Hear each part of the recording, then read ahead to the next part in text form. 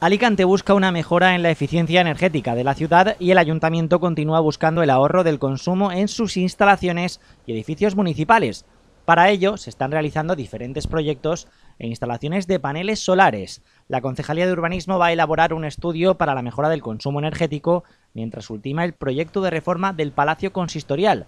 El informe, que se va a realizar durante las próximas tres semanas, va a recoger el estado actual en el que se encuentra el inmueble y las posibles medidas de ahorro a aplicar.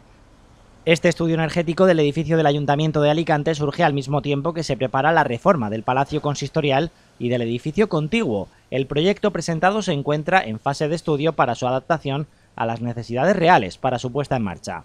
En el hall del edificio se situará la recepción de visitantes donde se ubicará el Museo de la Ciudad. En la primera planta se procederá a la misma reorganización de los espacios actuales y a una mejora a nivel de interiorismo, mientras que en la segunda se tendrá en cuenta la rehabilitación de los despachos con aproximadamente 13 puestos de trabajo y la remodelación de la actual sala de juntas, unas obras con las que se pretende recuperar estos dos edificios emblemáticos que cuentan con un valor muy importante para Alicante y que son un bien de interés cultural.